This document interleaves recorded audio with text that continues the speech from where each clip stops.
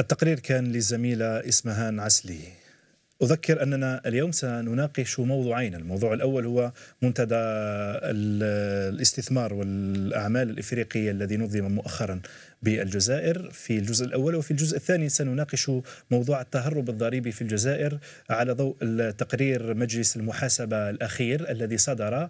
آه، وفيه أن حجم التهرب الضريبي في الجزائر بلغ 110 مليار دولار إلى غاية 2014 سنناقش هذين الموضوعين مع ضيفينا اليوم في الاستوديو الدكتور كمال رزيق خبير اقتصادي. أهلا وسهلا بك مرحبا. أهلا وسهلا شكرا على الاستضافة. العفو. وسيد فتحي غراس الناطق باسم الحركة الديمقراطية الاجتماعية. أهلا وسهلا بك مرحبا. مساء الخير شكرا على الاستضافة. العفو أهلا وسهلا. دكتور كمال رزيق أبدأ أبدأ بك. آه، المنتدى الحدث كان كبيرا. منتدى منتدى الاستثمار والأعمال الإفريقي. تقريبا كل إفريقيا كانت حاضرة في الجزائر. آه، لكن عوض الحديث عن آه، ما مخرجات هذا المنتدى تحول الحديث إلى ما قيل أنه صراع بين الحكومة ومنتدى رؤساء المؤسسات الاف سي ألا ترى أنه أنه فيه صراع حقيقة؟ وإلى أي مدى يمكن أن يؤثر على ما كان منتظرا من هذا المنتدى. اولا بسم الله الرحمن الرحيم. أشكرك على الاستضافة. عفوا أكيد هذا المنتدى يعني هو منتدى في الأصل هو منتدى لرجال الأعمال. محض الهدف من وراءه هو استكشاف الفرص الاستثمارية التي يمكن أننا آه، نقدمها للقارة الإفريقية. بالتالي فهو ليس لقاء الحكومة وليس من تنظيم الحكومة لأن عدد الحضور هو تقريبا 2000 آه، خبير 2000 متعامل اقتصادي وغير ذلك. عدد الحضور مسك الدبلوماسي يعني يتعدى على الأصابع لأن عدد الدول التي شاركت في هذا المنتدى هو في حدود 40 دولة. ولا يعقل بأن الحكومة لا تستطيع أن تجمع رؤساء حكومات هذه الدول. لذلك لابد أن نعيد الأمور إلى نصابها. فهو لقاء رؤساء المؤسسات فيما بينهم. بما أنه حدث إفريقي أكيد الحكومة تصر على الإشراف على افتتاحه. فقط يعني افتتاح بروتوكولي أكثر منه آه اقتصادي. آه هذا المنتدى الهدف من وراءه هو إعادة اكتشاف إفريقيا. لأن مع الأسف الشديد لأكثر من 40 سنة أعطينا ظهرنا لإفريقيا. والآن عندما الأزمة المالية أصبحت خانقة والولوج إلى الأسواق شوف بأنه ما كاش سامحني. آه نعم. تشوف أنه ما كاش آه، شيء من من صراع بين الأسي والحكومة. في رأيك ظهر علنا في هذا شوف المنتدى؟ لا, أعتقد. أنا شخصيا لا أعتقد بأن فيه صراع لأن الافسيو هي منظمة باترون. الهدف من وراءها هو البحث على يعني أموال البحث على مشاريع آه، ترافق الحكومة في عملية التصدير. وأعتقد بأن الحكومة ممثلة في شخص دولة وزير الأول يعني أسمى وأعلى من هذه الخلافات. يعني اسمح لي الترم نستعمل لك مصطلح الصبياني لأن لا يعقل أن نرتكب هذه الحماقة وهذا الخطأ الدبلوماسي الفادح آه، في في هذه التظاهرة. كلكم تعرفوا أن هذا منتدى لهذه المؤسسات. آه رئيس الحكومة افتتحه وهو مشكور. آه يمكن خطأ بروتوكولي كانت من المفروض تطلب آه يعني من الحضور أن تستسمح طاقم الحكومة باش ينسحب. لأن الحكومة الجزائرية تاعنا ماهيش فارغة شغل جاي باش تقعد في ذاك المنتدى. نعم. افتتحت وكل واحد يروح للمناصب عمل تاعو. هذا هو المنطق. سيد فتحي غراس ما رأيك فيما حدث في منتدى رؤساء المؤسسات ترى أنه في هناك عملية في هناك حقيقة صراع ظهر للعلن في هذا المنتدى؟ شكرا على الاستضافة وأرحب بالأستاذ زيك وبمشاهدي قناتكم. نعم مرحبا. بدء هذه بدء أود أن اترحم على روح العملاقين مرزاهي ومحمد طه الفرقاني وكذلك على روح الناشط السياسي السابق وكذلك الإطار في المشهد الثقافي فتح نور بن إبراهيم وكذلك الوزير السابق الأستاذ محمد الميلي وإن شاء الله ربي يصبر ذويهم. آه روح الفيلم قد طال واستطال وتحول إلى مسلسل على حسب شوف يعني شوف آه كما يقولوا في المثل الشعبي المندبة كبيرة والميت فار. علاش هذا الفيلم قد طال واستطال؟ نحس وكأن آه، رانا هنا في واحد المنطق آه، اللي يحوس يبعدنا عن النقاشات السياسية اللي يلزم تكون حاضرة. النقاشات هذه اللي تنور الرأي العام. وكأن هذا هذا الرواية هذه تاع غدوة الصراع ما بين ال FCE وما بين ال- الحكومة. من قبل كان صراع ما بين ما بين رئيس الجمهورية و والجنرال توفيق ومن بعد من قبل سعيد بوتفليقة. كل هذه هذه الشخصنة وهذا الرواية هذه الكومبلوتية هذه اللي راهي موجودة في في المشهد السياسي على ما أظن بلداننا مرتبطة بأشخاص لا، سيد فتحي لا لا الراس لا. لا لا ما ماهيش الأمور ماهيش بهذه البساطة بهذه البساطة يعني بهذه البساطة.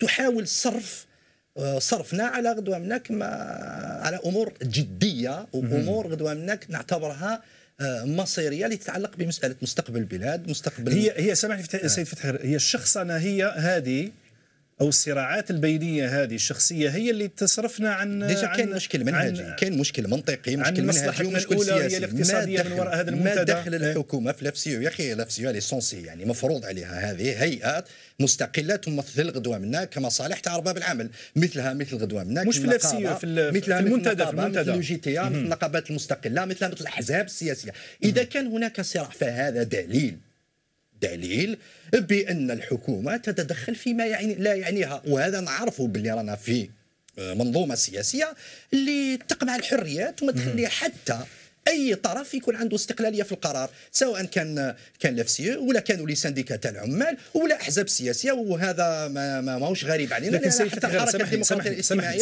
تعاني من. هذا التدخل السافر تاع. السلطة في أمورها لا لا الداخلية هنا لمؤتمرها هو مش إذن. مش تدخل الحكومة في النفسيه هذا منتدى إفريقي قاري آه، الحكومة عندها علاقة به شئنا لا، ما بين في النهاية لما- تقول يعني لأنه في النهاية المنتدى سامحني صراع. لأنه المنتدى في النهاية من ورائه مصلحة البلد يعني في المداخلة آه. أنا ربط ما بين مصير تاع تاع تاع رئيس ال- رئيس رئيس رئيس لافسيو رئيس لافسيو وما بين غدوة منك رضا الحكومة. وكان عدم رضا الحكومة راح غدوة منك ي- يحدد غدوة منك ال- المصير تاع تاع الرئيس لا في التقرير. جاء انه جاء إنه في. التقرير حتى حتى نحدد بالتحديد في التقرير جاء إنه بعد المنتدى حدث فيه هناك انسحابات سامحني سامحني. نعم. انسحابات من أعضاء في ال FCE في الولايات. الولايات هذه أمر- هذا 48 شأن داخلي هذا شأن يعني. داخلي. س- هذا هذا ما جاء في التقرير. لم نتكلم عن عن تدخل الحكومة في أنا ما. يهمني ما يهمني ك ك ك ك MDS كحركة حزب سياسي. أصلا هذا الملتقى في حد ذاته لازم نقراوه المعنى تاعو هكذا ونربطوه بأشياء أخرى. الأستاذ يتكلم عن العودة تاع الجزائر إلى بيتها الإفريقي. بعد أن هجرتها لمدة طالت نعم آه لدرجة أن نتساءل هل نحن أفارقة أم لا؟ يعني بقوه قدرنا كبنا على إفريقيا حتى الجزائريين نسينا بلي إحنا أفارقة. هذا الغياب تبعه عودة اضطرارية أو الأستاذ يقول بعد أن الأزمة قاستنا. اذا الإشكالية الآن هذه العودة. الاضطرارية هذه العودة الاضطرارية أنا ما أخشاه وما نخشاه نحن الحركة الديمقراطية الاجتماعية لأننا نعتبر بأن إفريقيا هي عمقنا الاستراتيجي. وإن الجزائر إذا كانت كما تعمل الآن تعول على سياسة عدم الانحياز الإيجابي على المستوى على المستوى الدولي يجب أن تتركز هذه السياسة على عودة إلى بيتها الطبيعي الإفريقي ومحاولة بناء بيت إفريقي اقتصادي نجحنا في هذه. العودة ابناء آه، نجحنا في هذه العودة من خلال يعني جايك يعني. جايك آه. إذا كانت العودة الوقت اضطراريه آه. إذا كانت العودة اضطراريه وما تكونش عودة مبنية على رؤية استراتيجية طويلة المدى آه. وخيارات حاسمة آه. صافي بلي غدوة منك يسوفي غدوة منك لي رابور دو فورس معناتها البترول يعاود يطلع.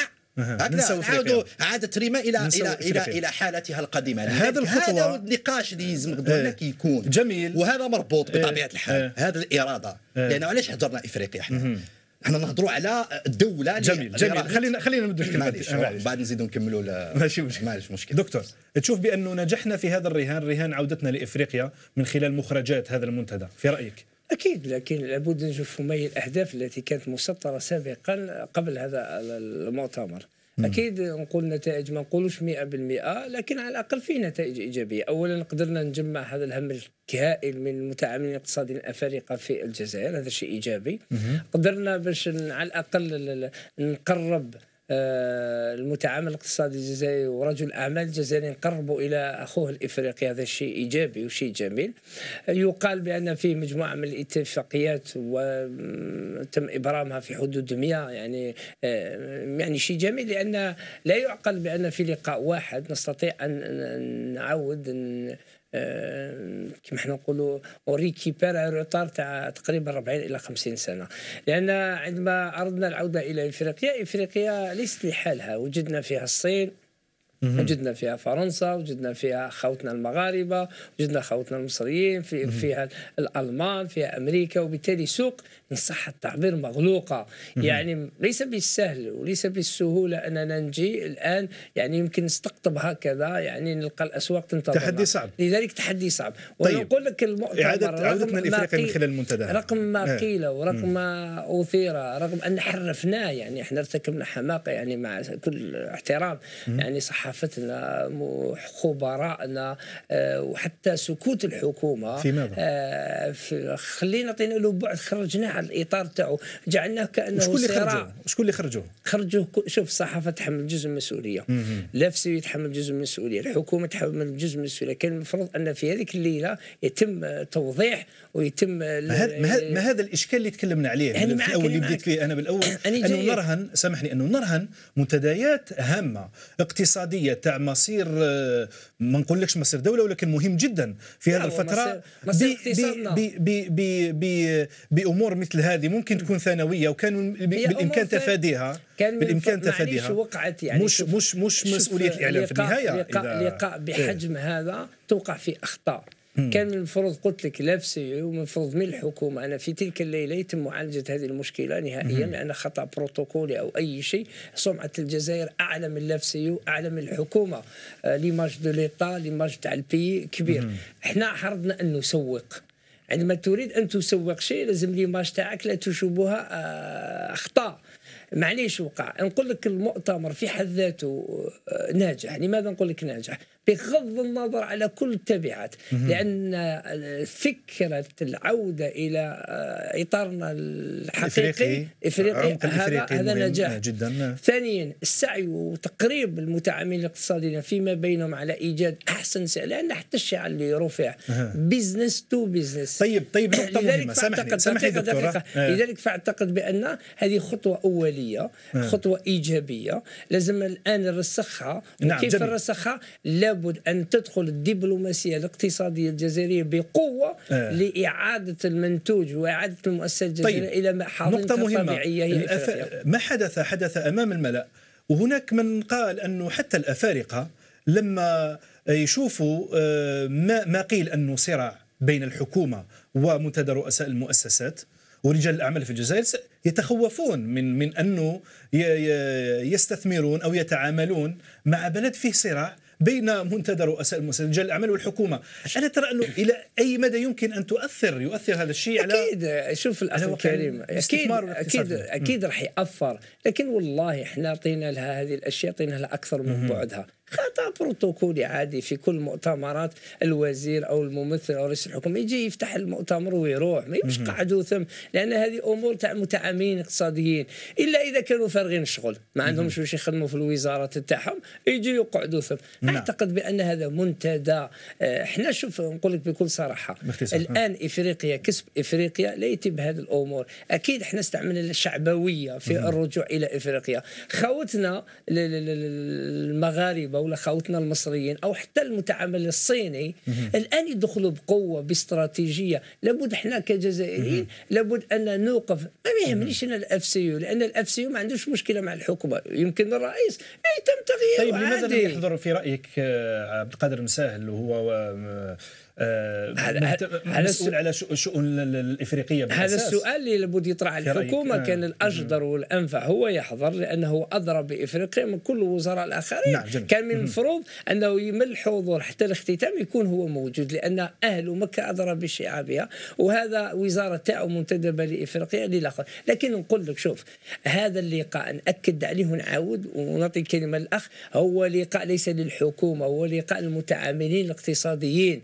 الحكومة تجي تفتتح واذا حبت وتكرمت تجي تختتم لأن جميل. في المنتديات والملتقيات أننا نفتح لكن مش شرط نجي نعم. الحضور ومش شرط نجي الاختتام سيد فتحي غراس في أنت نفيت أنه سيناريو أنه يكون فيه هناك صراع بين ال FCE والحكومة آه، يعني في في كل دول العالم موجود صراع داخلي بين العديد من الأطراف رجال الأعمال ورجال السياسة يعني لماذا تنفي هذا الشيء في الجزائر في النهاية؟ وسامحني وقبل وقت منذ أكثر من سنتين أو أكثر في هناك حديث على محاولة ال FCE فرض منطقها على الخيارات الاستراتيجية الاقتصادية بالتحديد على الحكومة. شوف لا دخان بلا نار يعني شوف le conflit يصرى في المنظومات الديمقراطية. الصراع يصرى في المنظومات الديمقراطية في المنظومات الاستبدادية هناك آمر ومأمور ماناش ماناش منظومة استبدادية نفهموا بلي رانا في منظومة استبدادية سلطوية ماناش في منظومة مش لهذه الدرجة كان صراع ما بين المصالح وتتصارع حتى إذا فرضنا بشكل إذا افترضنا شوف آه، مقاربتك لكن الصراع باش ما نتخندقش آه. انايا في الها في, في الثانوي. ما نتناقشوش في أمور ثانوية الصراع هذا قال له هذا داوس مع هذا لا. آه لا آه نروحوا إلى آه، لب لب الموضوع. بالنسبة لي هذا لب الموضوع هو ما حدث هذا اللقاء الغير مسبوق فيما يخص مع هذا اللقاء الإفريقي ولو نعم. الغير مسبوق. كيفاش يشوف ال MDS الرؤيه تاع ال MDS؟ قدوم لك لبعدنا الإفريقي. إحنا الجزائر ماناش المغرب وماناش مصر. إحنا الجزائر مكة الثوار التي ساهمت في تحرير شعوب إفريقيا. لذلك الدور الجزائري الام دي إس يقول حاليا يجب أن تساهم الجزائر في استقلالية القرار الإفريقي في الشأن الاقتصادي والشأن السياسي. وهذا ببناء بيت إفريقي اقتصادي تعاضدي مبني على التعاضد وعلى المشاركة والشراكة. إحنا ما ندخلوش إفريقيا لاستنزاف قواها كما الصين ولا كما دول أخرى اللي تجي غدوة تنهب إفريقيا وتنهب الثروات تاعها وتتعامل معها كسوق فقط لا. لذلك نقول باللي هذا الشيء لن يدعم هذا النمط. هذا النمط هذه الرؤية هذه الزاوية كيفاش كيفاش نشوفوا التعاطي مع معنا مع مع بعدنا الإفريقي ومع أشقائنا الأفارقة. ما يقدرش يكون إلا ولا كانت إشارة من الداخل. ما نقدروش إذا اعتمدنا على اقتصاد النهب في الجزائر على اقتصاد l'import-import على اقتصاد الطفيليين على اقتصاد الشكارة. هكذايا. ونهجروا اقتصاد العمل اقتصاد الاستثمار اقتصاد المراكمة الوطنية اقتصاد العمل المنتج. هكذايا. إذا قعدنا هجرنا هذا الشيء وقعدنا في هذا المنطق تاع النهب ومنطق تاع تاع l'import-import. نعم. on peut pas construire l'Afrique on peut pas غدو هناك être نكونوا غدو هناك مساهمين في بناء هذا البيت إحنا رانا هذا البيت الإفريقي. اليوم اتجهنا لافريقيا اليوم اليوم سامع معليش معك. نعم. لنفرض اليوم رانا توجهنا لافريقيا نجحنا في التحدي هذا اليوم؟ أنا نقول لك في المنتدى هذا ما كانش إشارة حاسمة من عند النظام. ولو كان بعض قلت لك تقدم الاضطراري في مجالات ولكن من حسب اللي كان إشارة حاسمة الاراده السياسيه غايبة. نحو اقتصاد المنتج. الإرادة السياسية غايبة. الإرادة السياسية ماهيش كافية للتخلص تخلص نهائي من الشكاره إيه؟ تخلص نهائي من, من, من كل ما طيب. ما يعيق. غدوة لك مرور الجزائر نحو نمط اقتصادي جديد ونمط الإنتاج. طيب من أتى بهذا المنتدى إذا ما كانش فيه إرادة سياسية؟ أنا نقول لك باللي ماشي معناتها بهذا المنتدى يسانسكرياه ربما راه في إطار في حدود النظام. في حدود المنظومة القائمة الحدود المنظومة. هذا التقدم المحتشم شيئا فشيئا. الفرق ما بين الحركة الديمقراطية الاجتماعية والسلطة.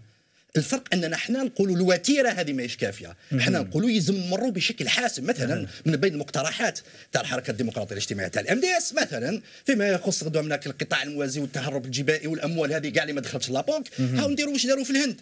إحنا اقترحناها ومن بعد داروها في الهند. يعني كنا نقترحوا عليها من قبل وشفنا بالهند داروها. بدل العملة. في الهند بدل غدوة منك تبدل 100000 50000 200000 غدوة منك الدراهم كاع يدخلوا on va bancariser كاع نبنكروا كاع كاع كاع الدراهم هذوما. est-ce que في on veut pas ماناش حابين هذا النظام السياسي راهو يبربر سواء يعاقب في دافع الضريبة. يعاقب فيه ويزيد الكاهل تاعو يثقله بضرائب وبضرائب أخرى.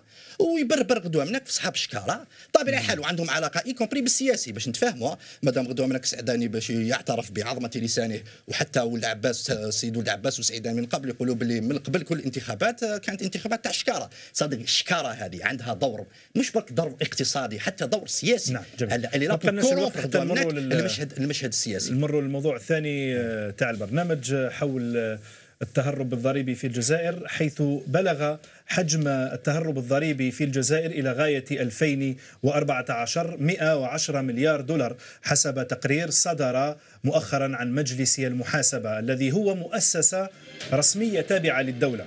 رقم مهول يكاد يتساوى مع حجم احتياطي الصرف الجزائري الذي يقترب هو كذلك من 120 مليار دولار. أموال ضائعة عجزت الدولة عن استرجاعها لسنوات طويلة لكن ألم يحن الوقت الآن لاسترجاعها في ظل الأزمة المالية الحالية؟ عوض فرض زيادات مالية على المواطن البسيط.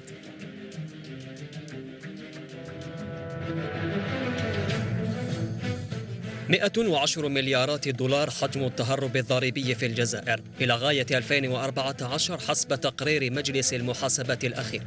ملايير الدولارات التهمها رجال أعمال ومؤسسات اقتصادية إضافة لنفقات حكومية ليست مبررة وفي غير محلها.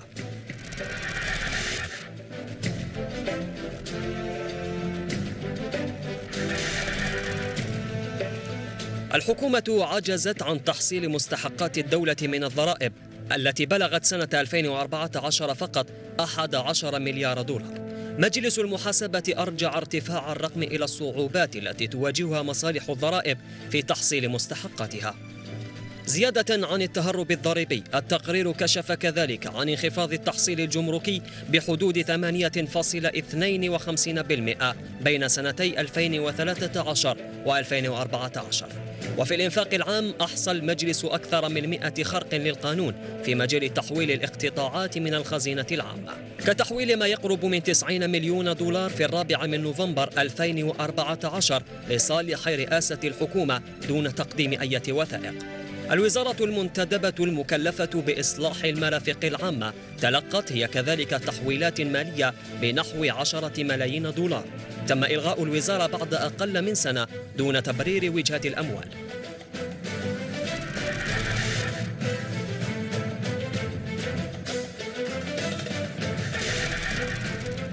التقرير الصادر عن هيئة رسمية تابعة للدولة رسم صورة سوداوية عن النفقات المالية لوزارات الحكومة.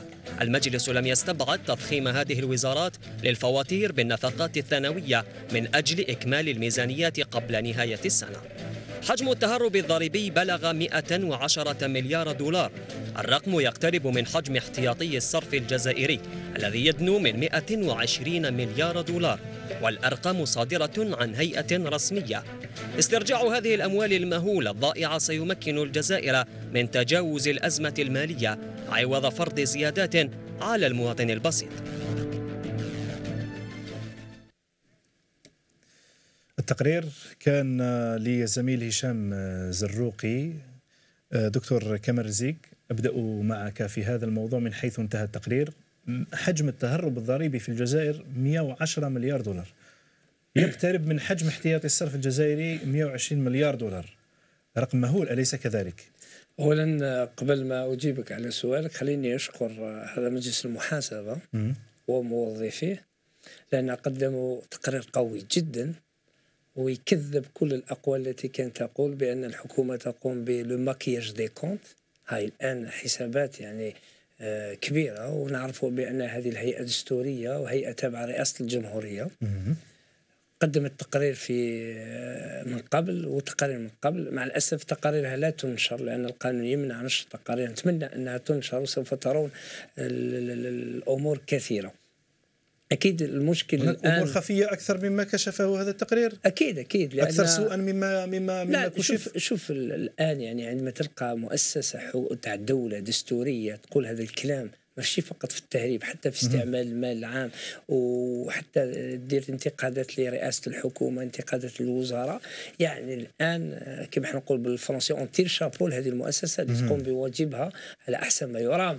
رغم أنها هي مؤسسة دستورية. يعني هي اعترفت باستعمال السيء المال العام ونتمنى أنها تكون تابعات لأن هذا التقرير généralement نعم. يكون يكون يتبع آه، ميزانية آه، ضبط الميزانية علاش يتكلم على 2014 لأن الآن مجلس المحاسبة بصدد تدقيق آه، ما يسمى بقانون ضبط الموازنة طيب. لسنة 2014 طيب ترى ما تشوفش بأنه استرجاع هذه الأموال 110 مليار دولار. استرجاعها من طرف الحكومة أولى من أنها تفرض زيادات على المواطن البسيط. أكيد نحن نجاوبك 110 مليار دولار مليار دولار مشترك فيها حسب تقرير مجلس المحاسبة وزارات الحكومة مؤسسات الدولة. مؤسسات اقتصادية ورجال أعمال. نجاوبك استرجاع هذه الضرائب أولى من أنها تفرض زيادات على مواطن شوف بسيط. هي تكلمت على التهرب وليس الاستعمال السيء للمال. التهرب لا يعني تكلمت على, الاست... لا لا نفقات غير مبررة لدى, لدى الحكومات لدى الوزارات لا لا ال 110 هي التهرب هذيك شيء آخر. 110 مليار تهرب في 2011 كانت 50 مليار. يعني السؤال اللي يطرح أن رغم التقرير اللي داروا مجلس المحاسبة السيء على ميزانية 2011 تهرب 50 مليار شفنا بأن الرقم ما خافضش في 2014 طلع 110 في ثلاث يعني سنين ارتفع ب 60 مليار دولار يعني السؤال يطرح أين مم. وزارة المالية؟ مم. أين إدارة الضرائب؟ يعني الآن تتحمل التبعات إدارة الضرائب لعدة أسباب، اولا إدارة الضرائب يمكن راهي غايبة لأن من المفروض هذا ال 110 من المفروض ال 50 مليار اللي كان في 2011 تنقص ما تلحقش 110 الآن الإشكال المطروح أن الحكومة تلجأ إلى الحلول السهلة من أجل إيجاد موارد مالية على حساب الشعب لكن تترك المنابع الحقيقية معاشرة. نقول لك السبب الذي يؤدي إلى المئة وعشرة الأخ تكلم قبيل على الشكارة وغير ذلك أنا أوافق ألف في المئة الشكارة الوسخة ولا الشكارة الجيدة الطيبة. فالإشكال المطروح الآن نظامنا الضريبي آن الأوان الفول ريفورمي إعادة النظر فيه تدريجيا. أنا جايك أنا جايك. خليني نكمل الفكرة. لأن هذا النظام هو اللي أدى ال 110 نقول لك أضحوكة إن صح التعبير. الأمر بالصرف في إدارة الضرائب هو مدير الضرائب. في نفس الوقت يلعب دور المحاسب. في نفس الوقت يلعب دور القاضي. يخرجوا المواطن يخرجوا له 400 مليار. ضريبه بقدرة قادر نفس اللي يسيني الأمر على 400 مليار هو يسيني أمر يخفضها له من 400 الربعه 4 ملايين ولا 5 ملايين هذا شيء غير معقول. لذلك آن الأوان نسبة التحصيل في أسوأ الحالات إدارة الضرائب ما تحصلش 20% و80% لاسيات يعني ما يتم تحديده يروح هباء منثورة. الحكومة تضطر أن تروح تجيب المواطن البسيط أنت وأنا وهو العمال خلل في منظومة في منظومة الضرائب. نظام الضريبة. أولا يجب إعادة النظر فيه. فصل السلطات. مدير الضرائب هو آمر بالصرف لكن ماهوش هو محاسب. لازم إدارة العروسات اليوم يحصلوا الضريبات واللي تابعه للتريزور والمنازعات نحوها له ليه؟ ماشي اللعبه حميدة والرشام حميدة. لازم تولي هناك عندنا قضاء ضريبي جبائي. عندما نفصل هذه السلطات ونعيد النظر في المنظومة الضريبية نعم. من الصفر نقول لك يمكن أننا نقلل نعم. ما نقولش نقضي آه. نقلل. لأن نقول لك الحكومة من المفروض بدل ما تفرض ضرائب عليا وعليك لازم ترفع نسبة التحصيل من 20% إلى على الاقل 80% سيد الغرس أه لو كشفت كل تقارير مجلس المحاسبة كما قال الدكتور ممكن سنكتشف أمور أسوأ مما كشف. روح آه، الحركة الديمقراطية الاجتماعية كانت دوما تقول وقالت باللي باللي المسألة هذه قضية التهرب الجبائي وقضية منك عندك 50% من الاقتصاد تاعك parce que واش معناتها التهرب الجبائي. 50% من الاقتصاد تاعك والتعاملات الاقتصادية ماهيش معلنة. راهي راهي راهي في, في, في القطاع في القطاع الموازي. هذه مسألة تتعلق ال MDS يقول لك هذه مسألة تتعلق بالسيادة تاع الدولة. الدولة التي لا تستطيع أن تكون سيدة على اقتصادها هذا أمر خطير. والمشكل أن مسألة السيادة تطرح غير على المواطن البسيط. يعني دافع الضريبة باش نعطيو برك ان شيفر 52% 52% من الضرائب المحصلة جاية من عند العمال العمال والأجراء. معناتها اليرجي دافع الضريبة هذا من العمال والأجراء والتجار كذلك. غدوة منك يجي قانون المالية يزيد يعاقبهم. في عاود غدوة نوسعوا الوعاء الضريبي تاعنا ونخفوا على دافع الضريبة. لا لا حنايا غدوة منك. الأخرين. نقول لهم زيدوا ديروا. هنيئا مريئا. ودافع الضريبة نزيدوا نثقلوا الكاهل تاعو بضرائب أخرى وبقدرة شعريه يحت نهار وغدوه منك الإنسان الجزائري يحس بلي كاين قانون أو قوانين géométrie variable تطبق بشكل متفاوت. وكيفاش غدوة منك؟ الدولة كي ما تخلقش الثقه بينها وبين المواطن. في لحظات الإزمة ولا لحظات الصعبة كيفاش غدوة منك؟ نقدروا نتجاوزوها كي تكون طيب ما الذي يمنع الحكومة من استرجاع هذه الأموال في رأيك؟ المشكل بلي ما كاش إرادة سياسية الاستاذ ويقول لك عندنا منظومة toute rationnelle كل منظومة هي في خدمة مصلحة معينة. أنا ما نامنش بلي غدوة منك. عندك دولة اللي قادرة تراقب حدود تاع 6000 كيلومتر كي نزيدوا لهم 1600 كيلومتر تاع تاع تاع تاع, الساحل.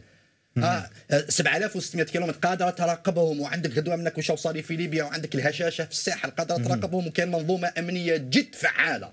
هذا تشوفها هذه حاجة أم الاختراع. فهذا الشيء قادرة دير وغدوه منك في قضية في الرقابة على الأموال في مسألة الضرائب ما همش قادرين. non c'est c'est un état الدولة كي تكون المصالح تكون المهيمنة غدوة منك تفرض توجه معين. هذاك التوجه حيكون هو السائد. لذا نقول أن المنظومة هذه اللي فيها شرح وفيها فيها عيوب وفيها عوائق وما كانش إرادة لإصلاح هذه المنظومة بما فيها غدوة منك المنظومة البنكية كيفاش غدوة منك صح.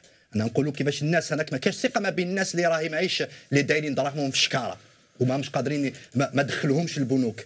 ها؟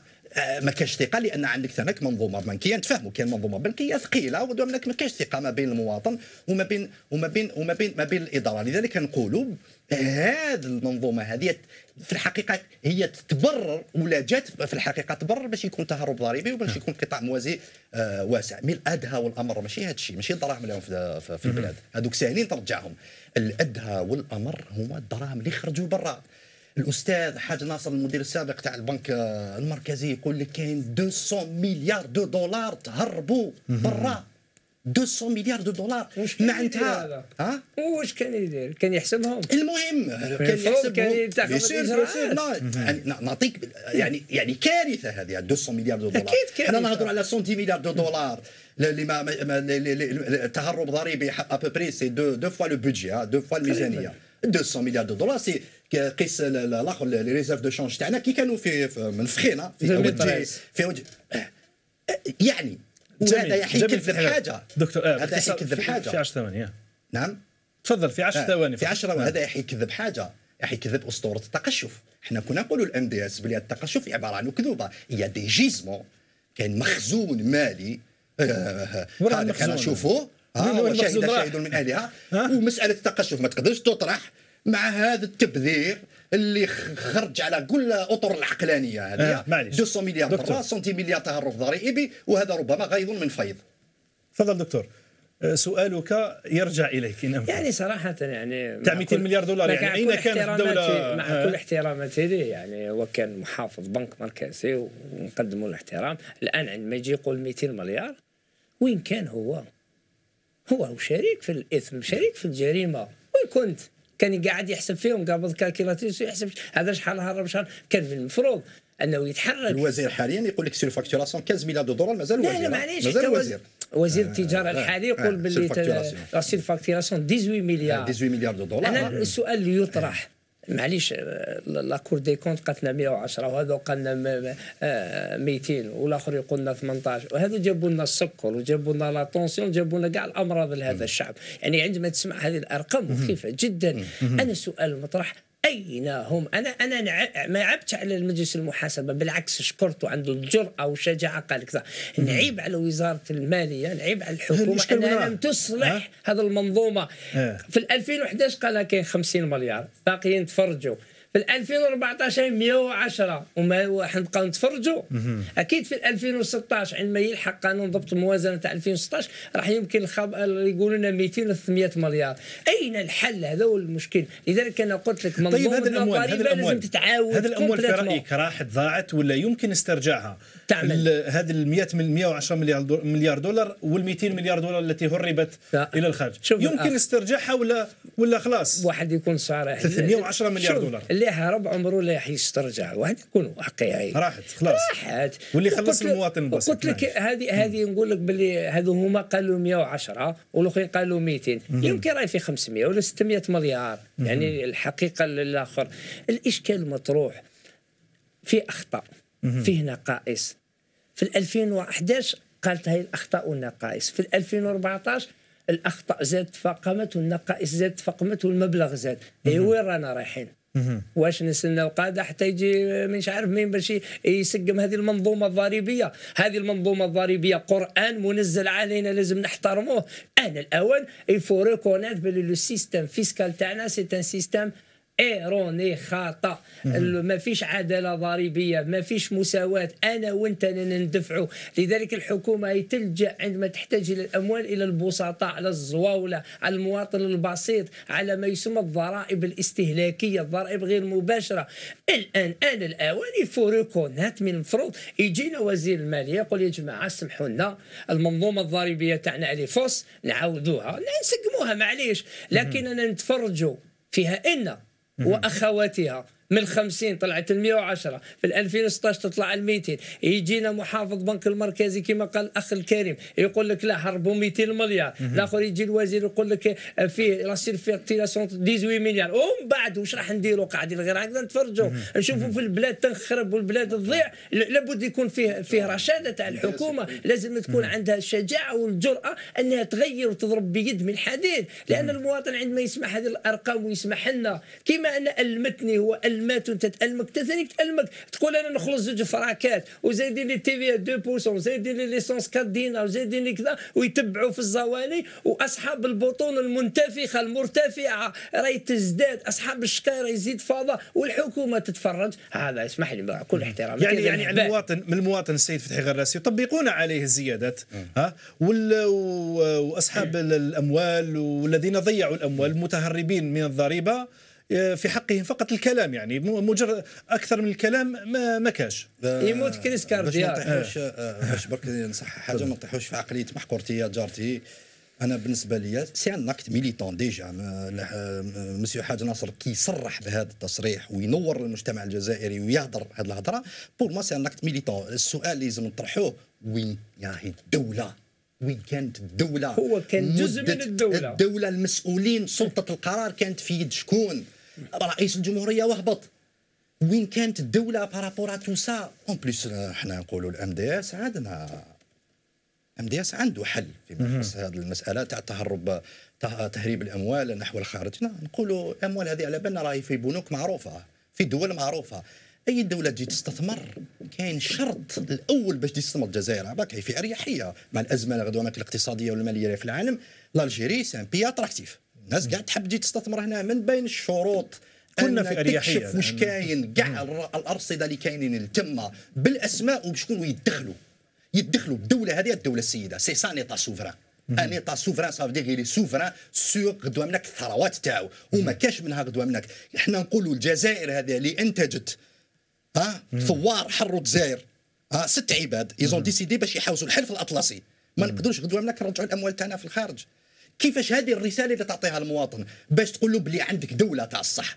يبقى ال MDS غدوة منك يقول بلي نقدروا نديروا. mais مع هذه الحكومة مع هذه السلطة ما نقدروش نديروا. مع ال MDS نقدروا نديروا. حكومة اللي يكون عمودها الفقري آه، آه. هو ال MDS يقدر غدوة منك يسترجع أموال الجزائريين في الخارج وغدوة منك يسترجع ما أموال الجزائريين اللي في الداخل. ونقولوا باللي المرور الحاسم نحو اقتصاد منتج نحو يعني اقتصاد العمل يعني كل الاحزاب تقول. نقدروا نجي لا لا نجيبوا لا لا. الأموال لا لا كل لا الاحزاب لا لا لا السياسيه. عندها الاقتصاديه لم يطرح شوف قضيه العفو الضر- إيه. الضريبي العفو إيه. الضريبي ما كان حتى حزب سياسي هضر على مسألة العفو الضريبي وعلى الكيل بمكيالين إيه. فيما يخص غدوة منك الناس اللي كانت تضحي في التسعينات ضحات ودفعت الضريبة وكان مقاومين مقاولين كانوا ينتجوا كانوا ينتجوا كانوا يخدموا للدولة بلا دراهم وكان عباد كانوا يديروا شكاره من بعد داروا لهم عفو ضريبي. ال MDS هو الحزب الوحيد صرى عفو ضريبي في الجزائر صرى عفو ضريبي مع 7% jamais. الآخر عفو ضريبي من بعد كيما مشاش ومن. بعد كيما كيما مشاش داروا غدوه منك l'emprunt obligataire هذيك شوف الاخ 5% معليش.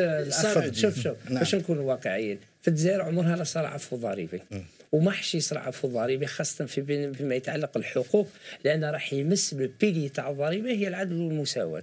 يمكن يكون نعفو في الغرامات ما فيش إشكال لكن في الحقوق n'est pas question علاش أنت درت ثروة؟ إيه.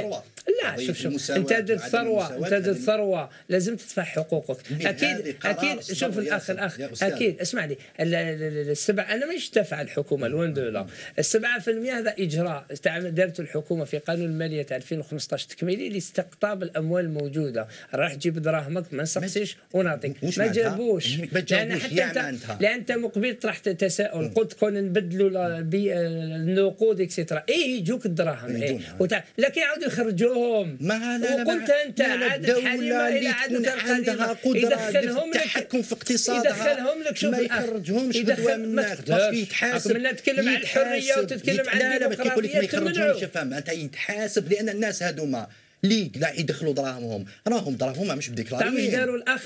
تعرف إيش داروا هذو الناس اللي عندهم دراهم؟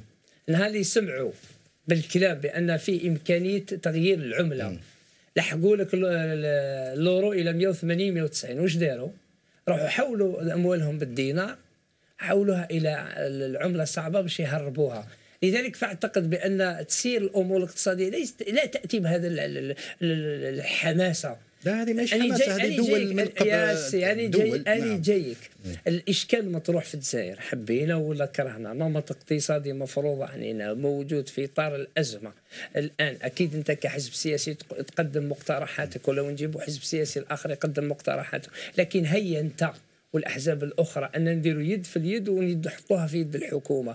ما هو المخرج؟ ما هو الطريق؟ إحنا عندما قلنا أنا شخصيا عندما طلبت بإصلاح المنظومة الضريبية لأن المنظومة هي اللي خلات في 2011 يهرب 50 مليار وخلات في 2014 يهرب يهرب ال- ال- ال 110 مليار. المنظومة هذه المصرفية اللي تتكلم فيها هي اللي لاكين تاعها اللي خلات هذا المحافظ البنك المركزي السابق يقول لك باللي تم تحويل 200 مليار. المنظومة هذه الاقتصادية هي اللي خلات وزير التجارة الحالي يقول لك هي نسي فاكتوراسيون 18 طيب، طيب، مليار. ننتقل للمحور لابد نعاودوها وفيما يخص- فيها. شوف المشكل يا يا صديقي يا أستاذ المشكل أن كي نقولوا حنايا يعني هذه تجارب آه، صارت من قبل في تركيا وفي الهند داروا داروا تغيير العملة وكان وكان وكان وكانت تجربة ناجحة. لا المشكل هذا الدراهم اللي نهضروهم ما نعرفوهمش sont pas déclarés c'est un moyen c'est هذه طريقة باش. يدخلوا يدخلوا للضوء. يدخلوا للضوء صدق عندك اقتصاد غدوة منك 50% من الاقتصاد تاعك راهو خارج مجال مجال مجال الرقابة مجال الدولة. صدق تغيير العملة يسمح غدوة منك أن الدولة تسترجع غدوة منك سيطرتها على الاقتصاد تاعها هذه شكل من إشكال. هذه شرط أول من شروط شروط السيادة.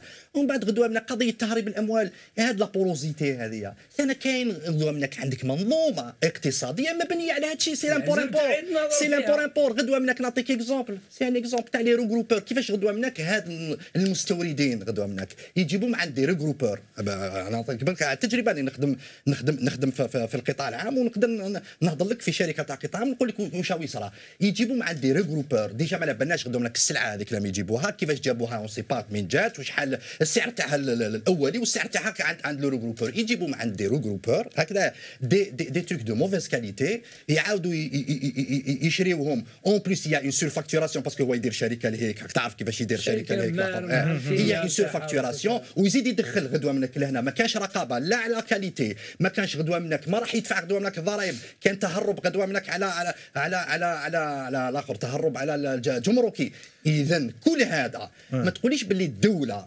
عاجزة عن غدوة منك عن تسيير هذه الأمور وعن مراقبة هذه الأمور. دكتور- القضية دكتور، ماشي دكتور القضية بان ما. كانش إرادة سياسية من عند هذه المنظومة أنها تمر إلى شيء آخر دكتور اسمه دكتور فيما يخص فيما يخص سامحني، اقتصاد آه، اقتصاد يعتمد على الإنتاج نعم. وعلى العمل. طيب فيما يخص نفقات الوزارات تقرير مجلس المحاسبة كشف على تضخيم الفواتير كذلك من طرف الوزارات. يعني مش فقط ال- المؤسسات الاقتصادية ولا رجال أعمال كذا.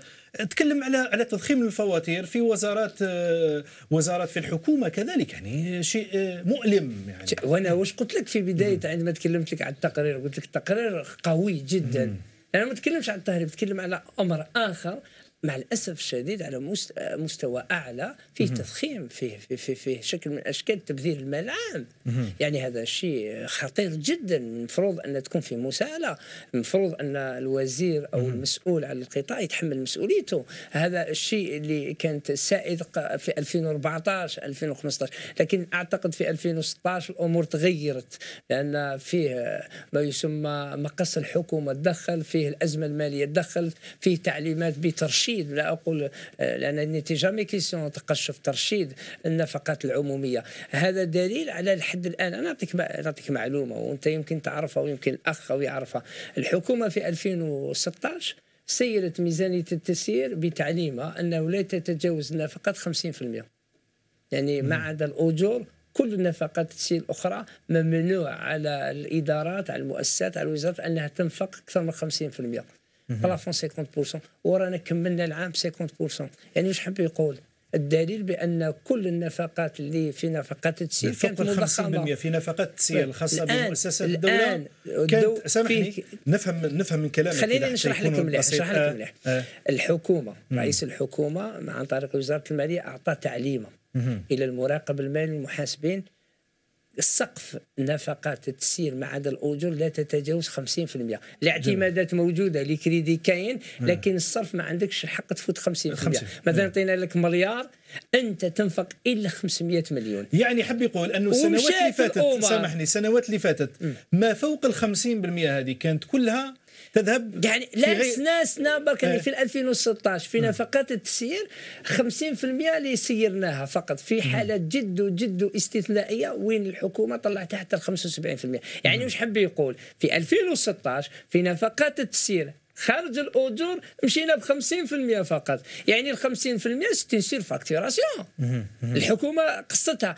عطات لك الكريدي في قانون المالية تاع 2016 جا الاعتماد لكن الصرف هو مرهون بالليكيديتي السيوله الحكومة جبرت الآن نقول لك كل مؤسسات الدولة مشات ب 50% مشات بهذه التعليمه رانا الآن في نهاية شهر ديسمبر. الأمور كلها مشات. قلت لك بعض الحالات الاستثنائية وين طلبت الحكومة دخلت ورفعت إلى 75% إلى 100 لكن تعد على الأصابع. يعني واش حاب يقول؟ الناس اللي راهم يديروا في مشروع قانون المالية الناس اللي راهم يحدوا في نفقات الدولة il faut recycler هما الوالا لأن تجاوزهم الأحداث نعم جميل. تجاوزهم جميل. الوقت ما راهمش يعرفوا يحسبوا جيدا. باختصار. ils ont renégocié بك. هناك فيما يقص فيما فيما يخص هناك قضية استيراد أسعار الدواء الأدوية المستوردة. ils ont renégocié هبطوها ب 30% ب 30% صافي كنا نشريو ب 30% زياده على على واش كاين على على le marché mondial باش نتفاهموا. و ça c'est lié à la question des regroupeurs en plus نهضروا على التبذير. باش تشوف غدوانك ما نقدروش. أو با ما نقدروش غدوانك نساعدوا على الإنتاج هنايا. وبهذه العقلية هذه تاع التبذير وتاع غدوانك وين l'import import يولي غدوانك مشرع على مصراعي. نعطيك exemple في الدواء. عندنا إحنا مؤسسات اقتصادية. إحنا في الجزائر تنتج الادويه سواء عندك صيدار مثلا مؤسسة اقتصادية في القطاع العام ولا مؤسسات اقتصادية في القطاع الخاص. تنتج مثلا نعطيك دواء تاع الباراسيتامول. فهمني غدوة منك واش معناتها عندك 20 نوع تاع باراسيتامول 30 نوع تاع باراسيتامول. وبالك 90% كاع مستورد. alors que عندنا قدرة على تغطية السوق الداخلي بالغدوة المنتج الوطني العام والخاص. ça veut dire واش معناتها غدوة منك نجيب 70 ألف نوع تاع الشيبس. صادق أول حاجة logique la première c'est quoi l'indice c'est quoi المؤشر؟ في 10 ثواني اللي تعطيه اللي تعطيه السلطة غدوة منك في فيما يخص هذه قضية التبذير. c'est que غدوة منك هذا هذا قضيه الاستيراد ثقافة نعم. ال conteneur تحبس. شكرا جزيلا. لذلك نقول ماشي. أخيرا هذه الثقافة تاع ال conteneur باش تحبس ما تقدرش تحبس مع السلطة رجليها في الشرق. شكرا جزيلا. ال MD اس شكرا جزيلا. الحزب اللي يدافع على العمل المنتج ولذلك أي حكومة ما تبناش و la colonne vertébrale تاعها هو ال MDS on va rester dans كل الأحزاب تدخل امني برا تدخل فولي طياب كما يقولوا. non non ماشي كل الاحزاب الاحزاب كانت كاع في المنظومة. شكرا. كل الاحزاب كانت في المنظومة. السيد فتحي غراس ناطق باسم الحركة الديمقراطية الاجتماعية. شكرا, شكرا. جزيلا لك. دكتور كمال الزيك خبير اقتصادي. شكرا جزيلا لك. شكرا. دافع أكثر من اللازم. شكرا جزيلا لكم. إحنا عندنا يقول كل كل خنفوس عنده شكرا جزيلا. الآن ومانيش انتهى الوقت. شكرا جزيلا لكم أنتم كذلك مشاهدينا الكرام. إلى موعد آخر. حمزة بدوي يحييكم وجميع طاقم برنامج كل شيء سياسة. السلام عليكم. شكرا.